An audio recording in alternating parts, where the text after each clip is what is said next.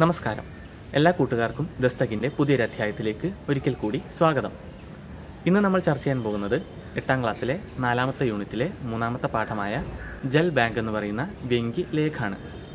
ഒരുപക്ഷെ കൂട്ടുകാരെല്ലാവരും ആദ്യമായിട്ടായിരിക്കും വ്യങ്കി ലേഖ് എന്ന് പറയുന്ന ഒരു സാഹിത്യ രൂപത്തെക്കുറിച്ച് കേൾക്കുന്നത്. മലയാളത്തിൽ ആക്ഷേപഹാസ്യമെന്നും ഇംഗ്ലീഷിൽ സറ്റയർ അഥവാ ഫാഴ്സ് എന്നെല്ലാം അറിയപ്പെടുന്ന സാഹിത്യ രൂപത്തെയാണ് ഹിന്ദിയിൽ വ്യങ്കി ലേഖ് എന്ന് പറയുന്നത്. ഇത്തരം രചനകളിലൂടെ സാഹിത്യകാരന്മാർ സമൂഹത്തിലെ പ്രശ്നങ്ങളെയും അനീതികളെയും തമാശ രൂപേണ അവതരിപ്പിക്കുകയാണ് ചെയ്യുന്നത്. ഇതുവഴി അവർ എന്തു ചെയ്യുന്നു?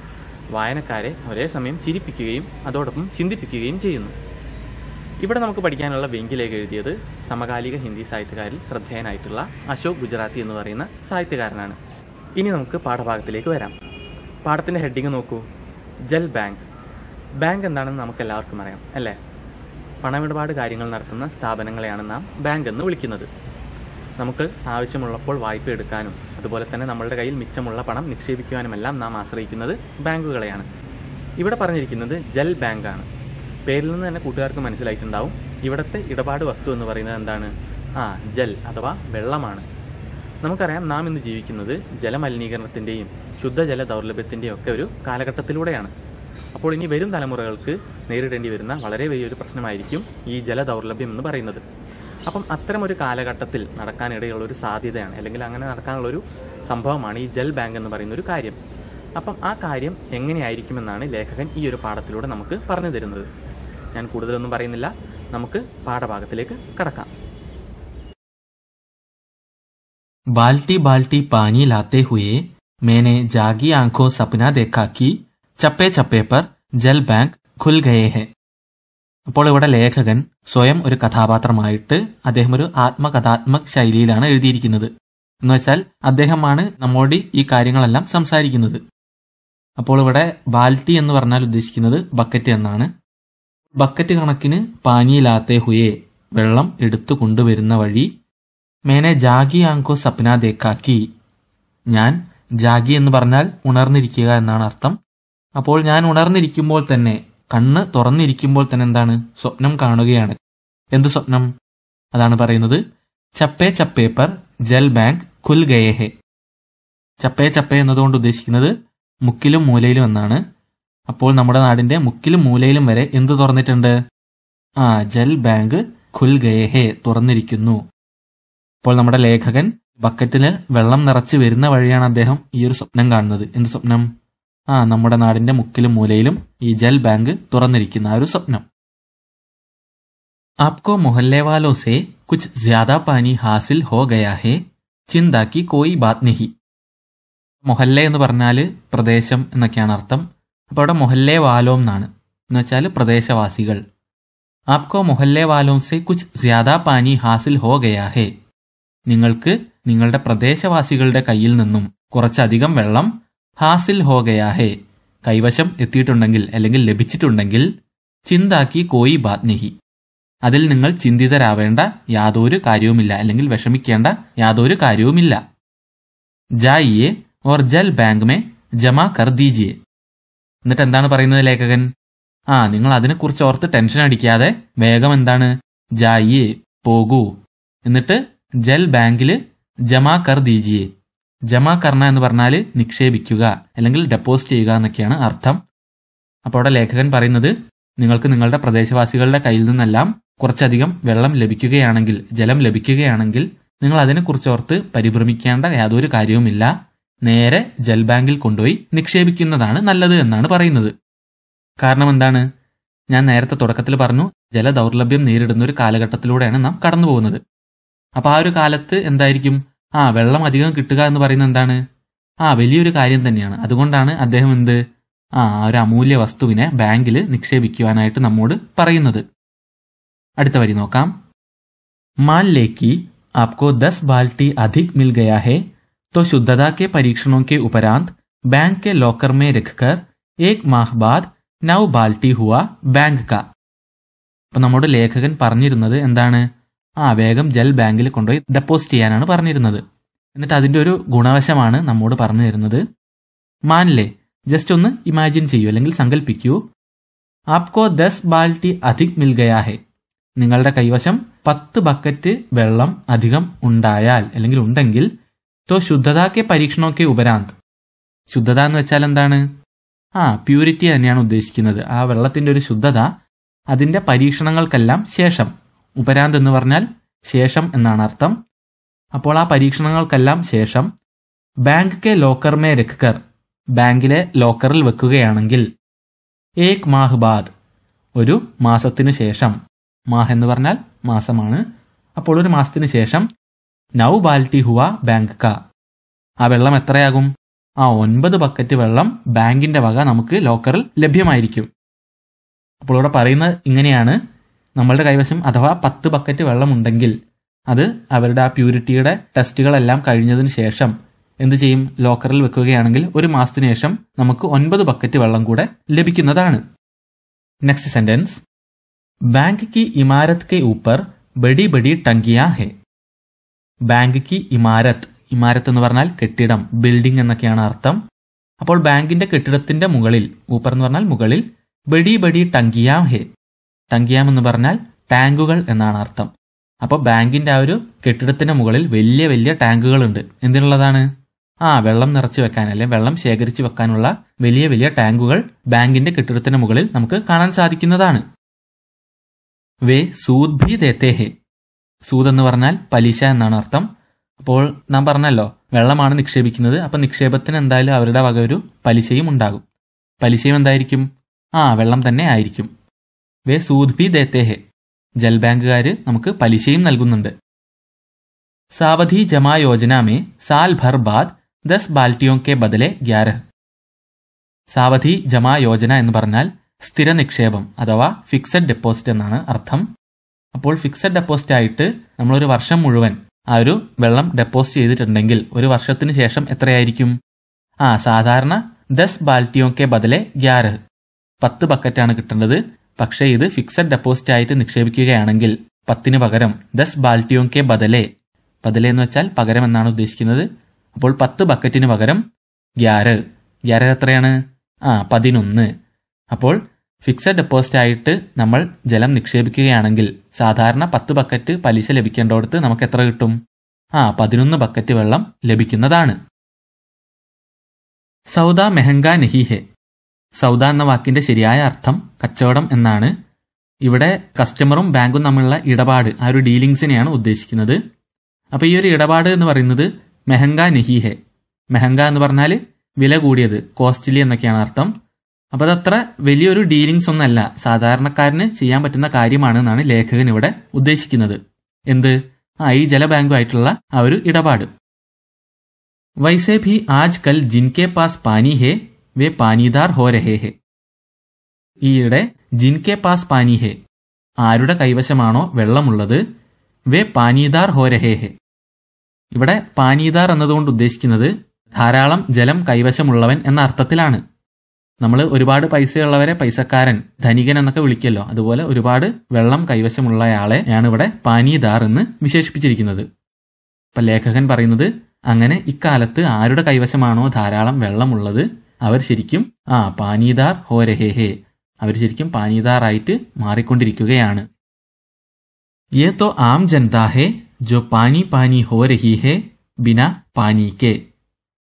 അപ്പോൾ ഒരു വശത്ത് ഒരുപാട് ജലം കൈവശമുള്ളവർ സമ്പന്നരാവുകയും മറുവശത്ത് ആം ജനത സാധാരണ ജനങ്ങൾ ജോ പാനി പാനി ഹോ രഹി ഹേ.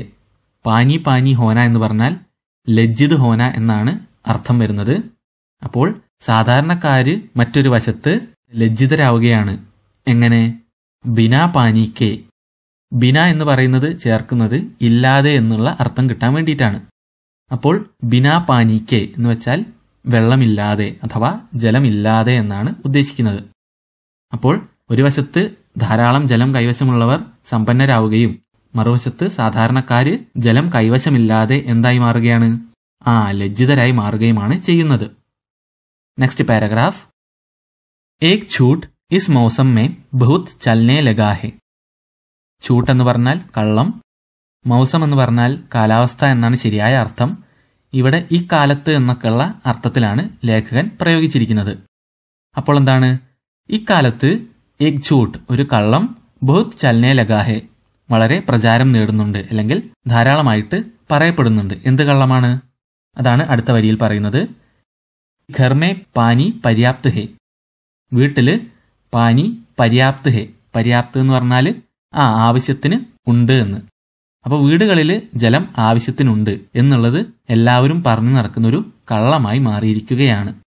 അപ്പോൾ അവിടെ എന്താണ് ഉദ്ദേശിക്കുന്നത്? ആ ആവശ്യത്തിന് അവരുടെ കൈവശം വെള്ളമില്ല എന്നുള്ളതാണ് ലേഖകൻ പറയുന്നത്.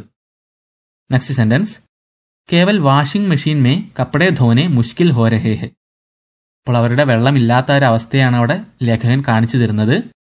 കേവൽ വാഷിംഗ് മെഷീൻമേ വാഷിംഗ് മെഷീനിൽ പോലും കപ്പടെ ധോനെ മുഷ്കിൽ ഹോ രഹേ ഹേ. വസ്ത്രം ധോന എന്ന് പറഞ്ഞാൽ അലക്കുക.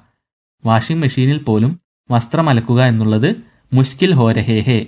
വളരെ പ്രയാസമേറിയതായിരിക്കുകയാണ് അല്ലെങ്കിൽ ബുദ്ധിമുട്ടേറിയതായി മാറിയിരിക്കുകയാണ്. വൈസേമേ ലോകോങ്കോ അവസർ മിൽ ജാത്താ ഹേ ഝൂട്ട് ബോൽനേക്ക് അപ്പിനി ആദത് കോ ഭുനാനേക്ക.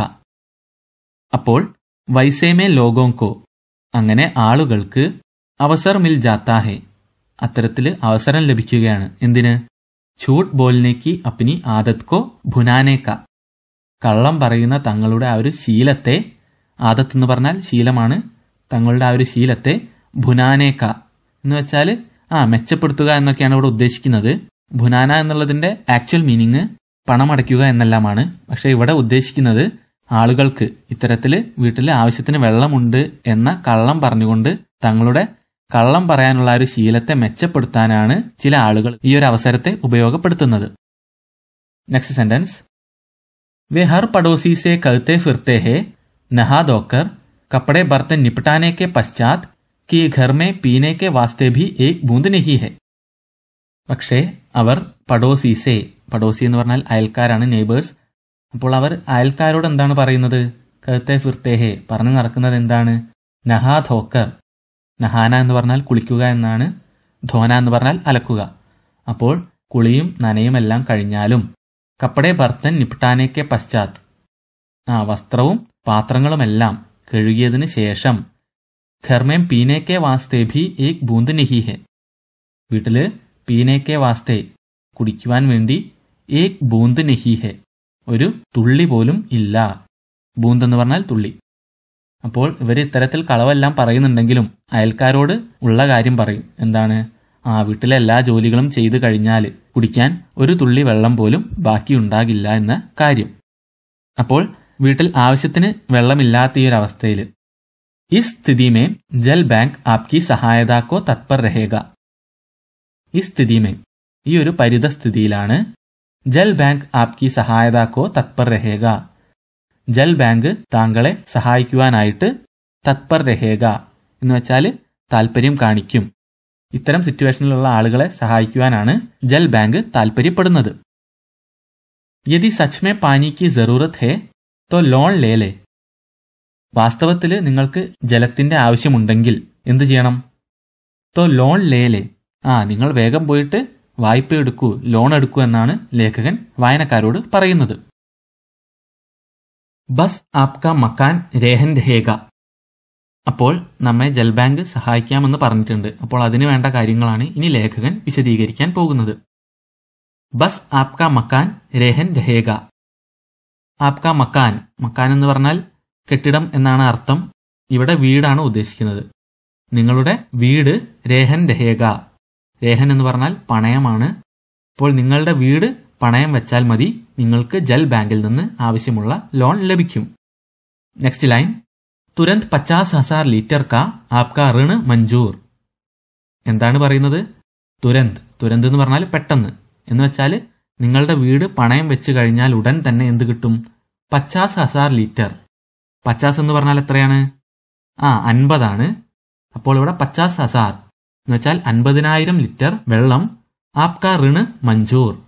ഋണ് എന്ന് പറഞ്ഞാൽ കടമാണ് ഡെപ്റ്റ്. മഞ്ചൂർ എന്ന് പറഞ്ഞാൽ അംഗീകാരം ലഭിക്കുക. നിങ്ങളുടെ ആ അൻപതിനായിരം ലിറ്റർ വെള്ളത്തിന് അനുമതി ലഭിച്ചിരിക്കുന്നു എന്നാണ് പറയുന്നത്. ആപ്കോ ഹർ മഹീനെ പാഞ്ച് ഹസാർ മൂൽ ഒരേക് ഹസാർ സൂദ് ഭർണാഹെ അപ്പോൾ ഇതൊരു ലോണാണല്ലോ. അപ്പൊ എന്തായാലും അതിന് തിരിച്ചടവ് ഉണ്ടാവും. അതാണ് പറയുന്നത്. ആപ്കോ ഹർ മഹീനെ താങ്കൾക്ക് എല്ലാ മാസവും പാഞ്ച് ഹസാർ മൂൽ. പാഞ്ച് ഹസാർ എന്ന് വെച്ചാൽ അയ്യായിരം. മൂൽ എന്ന് വെച്ചാൽ മുതലും. അതുപോലെ തന്നെ ഏക് ഹസാർ ആയിരം. സൂത് ഭർണാഹെ ആയിരം പലിശയായിട്ടും അടക്കേണ്ടതായിട്ടുണ്ട്. അപ്പോൾ ഇവിടെ പറയുന്നത് അൻപതിനായിരം ലിറ്റർ വെള്ളം നമ്മൾ വായ്പ എടുത്താൽ ഓരോ മാസവും അയ്യായിരം ലിറ്റർ മുതലായിട്ടും ആയിരം ലിറ്റർ പലിശ ഇനത്തിലും നിങ്ങൾ ജൽ ബാങ്കിന് അടക്കേണ്ടി വരും. മൂൽ സൂദ് നിയമിത് थे तो दस माह में सिर्फ साठ हजार बैंक को देंगे അപ്പോൾ ഇവിടെ പറയുന്നത് മൂൽ സൂദ് മുതലും പലിശയും നിയമിത് ധേ നിയമിത് ധേ എന്ന് പറഞ്ഞാൽ വ്യവസ്ഥയോടെ യാതൊരു മുടക്കവും കൂടാതെ കൃത്യമായിട്ട് നിങ്ങൾ മുതലും പലിശയും അടയ്ക്കുകയാണെങ്കിൽ തോ ദസ് മാഹ്മേ പത്ത് മാസത്തിനുള്ളിൽ തന്നെ എന്താണ് സിർഫ് സാഠ് ഹസാർ ബാങ്ക് കോ ദേങ്കെ സാഠ് എന്ന് പറഞ്ഞാൽ അറുപതാണ് അപ്പോൾ സാഠ് ഹസാർ അറുപതിനായിരം ലിറ്റർ വെള്ളം ബാങ്ക്ക്കോ ദേങ്കെ. ബാങ്കിൽ നമ്മൾ തിരിച്ചടയ്ക്കും. അപ്പോൾ അൻപതിനായിരം ലിറ്റർ വെള്ളം വായ്പ എടുത്താനുള്ള കാര്യമാണ് ഇവിടെ പറയുന്നത്. നമ്മൾ പത്ത് മാസം കൃത്യമായിട്ട് മുതലും പലിശയും അടയ്ക്കുകയാണെങ്കിൽ അറുപതിനായിരം ലിറ്റർ നമ്മൾ ആ ഒരു ലോണിന്റെ ഭാഗമായിട്ട് ബാങ്കിൽ തിരിച്ചടയ്ക്കുന്നതാണ്. നെക്സ്റ്റ് ലൈൻ ഹാ പ്രതിമാസ് സൂദിന ധേത്തോ ആപ്കെ ഖാത്തേമേ ജോഡ്കർ ചക്രവൃദ്ധി ബ്യാജ് ശുരു. എന്നിട്ട് പറയുന്നത് എന്താണ്? പ്രതിമാസ് സൂദിന ദേത്തോ ഇനിയിപ്പോ നമ്മൾ മാസാമാസം പലിശ നൽകുന്നതിൽ വീഴ്ച വരുത്തിയാൽ മുടക്കം വരുത്തിയാൽ ആപ്കെ ഖാത്തേമേ നിങ്ങളുടെ അക്കൗണ്ടിൽ ജോഡ്കർ ജോഡിന എന്ന് പറഞ്ഞാൽ കൂട്ടുക എന്നാണ്. ആ മുടക്കം വന്ന പലിശയെല്ലാം നിങ്ങളുടെ അക്കൗണ്ടിൽ ചേർത്തിട്ട് ചക്രവൃദ്ധി ബ്യാജ് ശുരു.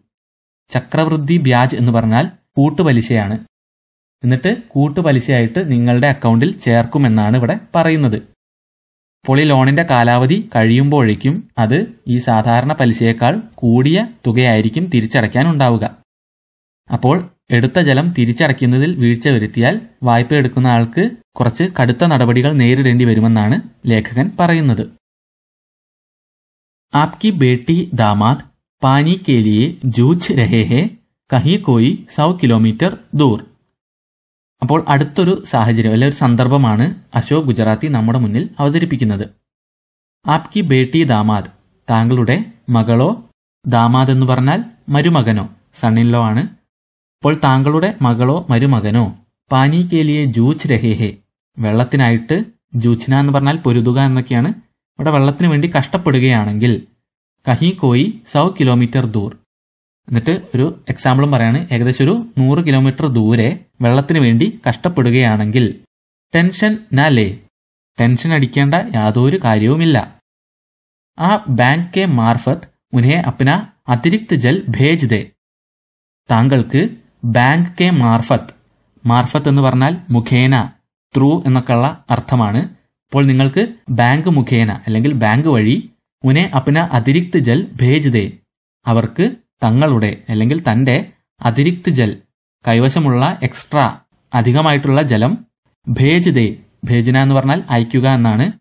അപ്പോൾ ദൂരെ കിടന്ന് കഷ്ടപ്പെടുന്ന ആളുകൾക്ക് വരെ തങ്ങളുടെ കൈവശം ജലമുണ്ടെങ്കിൽ അത് അയച്ചു കൊടുക്കാൻ സാധിക്കുന്നതാണ് എന്നാണ് പറയുന്നത്.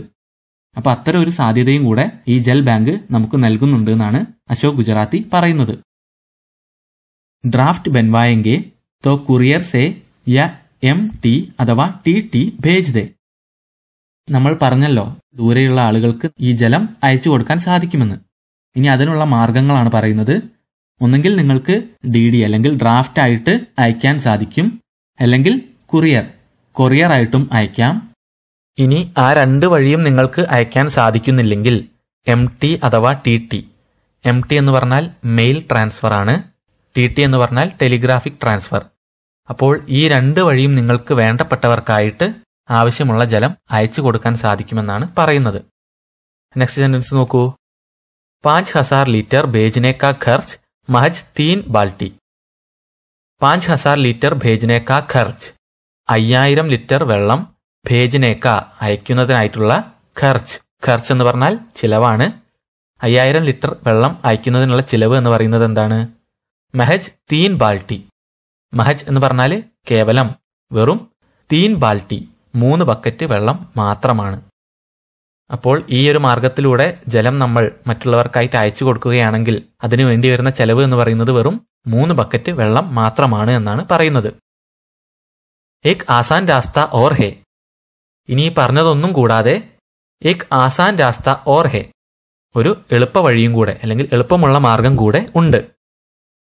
ബാങ്കിനെ കൈ എ ടി എം സെന്റർ ഖോൽ രഖേ ഹെ. നമ്മുടെ ജൽ ബാങ്ക് എന്ത് ചെയ്തിട്ടുണ്ട്? കൈ എ ടി എം ഒരുപാട് എ ടി എം സെന്റർ ഖോൽ രഖേ ഹെ. എ ടി എം സെന്ററുകൾ തുറന്നു വെച്ചിട്ടുണ്ട്. എ ടി എം എന്നതിന്റെ പൂർണരൂപം കൂട്ടുകാർക്ക് അറിയാമോ ഓട്ടോമാറ്റഡ് ടെല്ലർ മെഷീൻ എന്നാണ് എ ടി എമ്മിന്റെ പൂർണരൂപം. അപ്പോൾ എ ടി എമ്മിൽ എന്താണ് സംഭവിക്കുന്നത്? ആ നമ്മൾ എ ടി എം കാർഡ് ഇട്ട് കഴിഞ്ഞാൽ നമ്മളുടെ പിൻകോഡൊക്കെ കൃത്യമായിട്ട് ടൈപ്പ് ചെയ്ത് കഴിഞ്ഞാൽ ആവശ്യമുള്ള പണം നമുക്ക് എ ടി എമ്മിൽ നിന്ന് ലഭ്യമാകും. അപ്പോൾ ഈ ജൽ ബാങ്കിനും ഒരു എ ടി എം ഉണ്ടെന്നാണ് പറയുന്നത്. ബാക്കി വായിച്ചു നോക്കാം. എ ടി എം കാർഡ് ആപ് ദാമാദ് കോ ദേ ദേ. അപ്പൊ നമ്മൾ പറഞ്ഞു വന്നത് മകൾക്കും മരുമകനും ജലം എത്തിക്കാനുള്ളൊരു എക്സാമ്പിൾ ആയിട്ടാണ്. അപ്പോൾ അതാണ് ഇവിടെ പറയുന്നത്. നിങ്ങളുടെ എ ടി എം കാർഡ് ആപ് ദാമാദ് കോ ദേ ദേ. നിങ്ങൾ നിങ്ങളുടെ മരുമകന് നൽകൂ. അപ്നി ബ്രാഞ്ച് മേ പാനി ജമാ കരെ. വോ വഹ നിക്കാൽ ലേഖ. നിങ്ങൾ നിങ്ങളുടെ ബ്രാഞ്ചിൽ ആവശ്യത്തിനുള്ള വെള്ളം നിക്ഷേപിക്കൂ ഡെപ്പോസിറ്റ് ചെയ്യൂ ജമാ കരെ. വോ വഹ നിക്കാൽ ലേഖ. അത് നിങ്ങളുടെ മരുമകൻ ആ ദൂരെയുള്ള ആ സ്ഥലത്ത് നിന്ന് നിക്കാൽ ലേഖ എന്ന് വെച്ചാൽ പുറത്തെടുക്കും. അല്ലെങ്കിൽ മരുമകന് അവിടെ നിന്ന് എടുക്കാൻ സാധിക്കുമെന്നാണ് ഉദ്ദേശിക്കുന്നത്. കൈസേ സരൾ ഹേ. അതെങ്ങനെ? സരൾ ഹേ എളുപ്പമാണ്. ബട്ടൺ ദബാത്തെ ഹി എ ടി എം കെ നൽ സെ ആദേശാനുസാർ പാനി നിക്കൽന ചാലു ഹോ ജായക ആ നമ്മൾ ബട്ടൺ ദബാത്തെ ഹി. ദബാന എന്ന് പറഞ്ഞാൽ അമർത്തുക എന്നാണ്.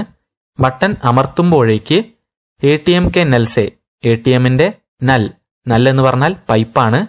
എ ടി എമ്മിലെ പൈപ്പിൽ നിന്നും. ആദേശാനുസാർ.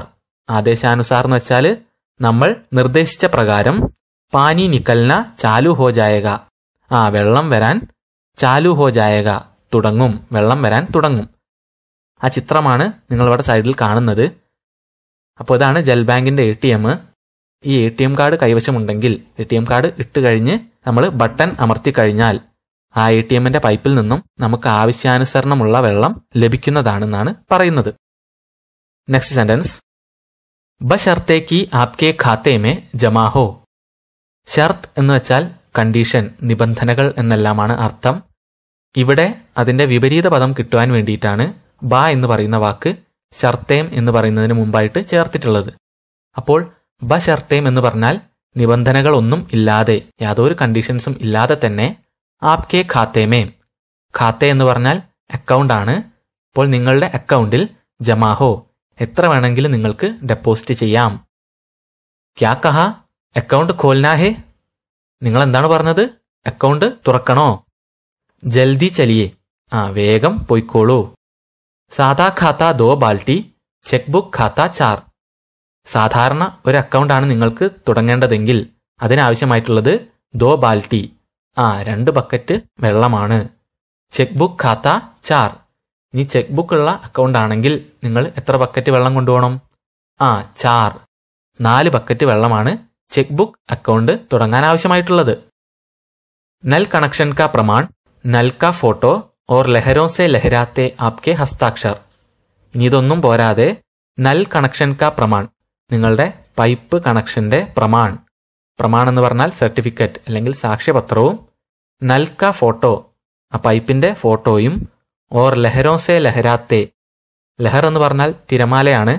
ഇവിടെ ലേഖകൻ ഒരു വ്യംഗ്യാത്മകമായിട്ട് പറയാണ് എന്താണ്? തിരമാലകൾ അടിക്കുന്ന പോലെയുള്ള നിങ്ങളുടെ ഹസ്താക്ഷർ. ഹസ്താക്ഷർ എന്ന് പറഞ്ഞാൽ ഒപ്പിനെയാണ് കയ്യൊപ്പിനെയാണ് ഹസ്താക്ഷർ എന്ന് പറയുന്നത് സിഗ്നേച്ചർ അപ്പോൾ ഇവിടെ ലേഖകൻ കസ്റ്റമേഴ്സിനെ ആകർഷിക്കുവാൻ വേണ്ടിയിട്ടാണ് അവരുടെ കയ്യൊപ്പിനെ എല്ലാം ഇത്ര പ്രൈസ് ചെയ്ത് പറയുന്നത്. ലഹരോസെ ലഹരാത്തെ ആപ്കെ ഹസ്താക്ഷർ. ആ തിരമാലകൾ അലയടിക്കുന്നത് പോലെയുള്ള നിങ്ങളുടെ കയ്യൊപ്പും കൂടിയാണ് ജൽ ബാങ്കിൽ അക്കൗണ്ട് തുടങ്ങാൻ ആവശ്യമായിട്ടുള്ള കാര്യങ്ങൾ. ഖാത്ത ഖുല നെഹിക്ക് ആപ്കി ചാരോ ഉങ്കലിയാം പാനിമേ. ഇനി അവസാനം ഏറ്റവും അവസാനം ലേഖകൻ എന്താണ് പറയുന്നത്? ഖാത്ത ഖുലാ നെഹിക്ക് ഇനി അഥവാ നിങ്ങൾ അക്കൗണ്ട് തുറന്നില്ല എങ്കിൽ ആപ്കി ചാരോ ഉങ്കലിയാം നിങ്ങളുടെ എല്ലാ വിരലുകളും പാനീമേം വെള്ളത്തിലാകും. അതൊരു ഫ്രേസാണ് ചാരോം ഉങ്കലിയാം പാനീമേം എന്ന് പറഞ്ഞാൽ നിങ്ങളുടെ കാര്യം വളരെ കഷ്ടത്തിലാകും അല്ലെങ്കിൽ നിങ്ങൾക്ക് വലിയ നഷ്ടമാകും എന്നാണ് അവിടെ ഉദ്ദേശിക്കുന്നത്. അപ്പോൾ ഖാത്ത ഖുലാ നെഹിക്ക് ആപ്കി ചാരോ ഉങ്കലിയാം പാനീമേം. നിങ്ങൾ അഥവാ അക്കൗണ്ട് തുറന്നില്ല എങ്കിൽ നിങ്ങളുടെ കാര്യം വളരെ കഷ്ടത്തിലാകും. കാരണം എന്താണ് ആ അത്തരം ഒരു കാലത്തിലാണ് ജീവിക്കുന്നത്. അപ്പോൾ അതുകൊണ്ട് ജലമില്ലാതെ നമുക്ക് നിലനിൽക്കാൻ സാധിക്കില്ല. അതുകൊണ്ട് നിങ്ങൾ എന്തായാലും എന്ത് ചെയ്യണം? ആ ഉടനെ തന്നെ ജൽ ബാങ്കിൽ അക്കൗണ്ട് തുടങ്ങണമെന്നാണ് ലേഖകൻ പറയുന്നത്. അപ്പോൾ ഈ ഒരു വ്യംഗ്യലേഖയിലൂടെ ഭാവിയിൽ നടക്കാൻ ഇടയുള്ള ഒരു കാര്യം ജൽ ബാങ്ക് എന്ന് പറയുന്ന ഒരു കാര്യത്തെക്കുറിച്ചിട്ടാണ് പറയുന്നത്. അപ്പോൾ അവിടെ അക്കൗണ്ട് തുടങ്ങാൻ ആവശ്യമായുള്ള കാര്യങ്ങളും പിന്നെ അന്നത്തെ ആ ഒരു സിറ്റുവേഷൻസും എല്ലാം ലേഖകൻ ഭാവനയിലൂടെയാണ് നമ്മോട് പറഞ്ഞു തരുന്നത്. ചിലപ്പോൾ ഇങ്ങനെ നടക്കാം ചിലപ്പോൾ ഇങ്ങനെ നടക്കാതിരിക്കാം. എന്നിരുന്നാലും നമ്മൾ വളരെയധികം ശ്രദ്ധ പുലർത്തേണ്ട കാര്യങ്ങളിലൊന്നാണ് ഈ ജലസംരക്ഷണം എന്ന് പറയുന്നത്. അപ്പൊ ആ ഒരു പ്രശ്നത്തിലേക്കാണ് ലേഖകൻ ഈ ഒരു വെങ്കി ലേഖിലൂടെ വിരൽ ചൂണ്ടുന്നത്. അപ്പോൾ കൂട്ടുകാർക്ക് ജൽ ബാങ്ക് എന്ന് പറയുന്ന ഈ ഒരു വെങ്കി ലേക്ക് മനസ്സിലായെന്ന് കരുതുന്നു. ജലം അമൂല്യമാണ്. അതൊരിക്കലും നാം പാഴാക്കരുത്. ഇന്ന് നാം ഉപയോഗിക്കുന്ന ഈ പ്രകൃതിയിലെ വസ്തുക്കളെല്ലാം തന്നെ വെറും നമുക്ക് വേണ്ടി മാത്രമുള്ളതല്ല. അത് വരും തലമുറകൾക്ക് വേണ്ടിയുള്ളതാണെന്ന് കൂടി ഓർമ്മിപ്പിച്ചുകൊണ്ട് ഞാൻ നിർത്തുന്നു. ഈ വീഡിയോ ഇഷ്ടപ്പെട്ടെങ്കിൽ ലൈക്ക് ചെയ്യുക അതുപോലെ നിങ്ങളുടെ കൂട്ടുകാർക്കായി ഷെയർ ചെയ്യുക. നമുക്ക് മറ്റൊരു വീഡിയോയിൽ കാണാം. താങ്ക്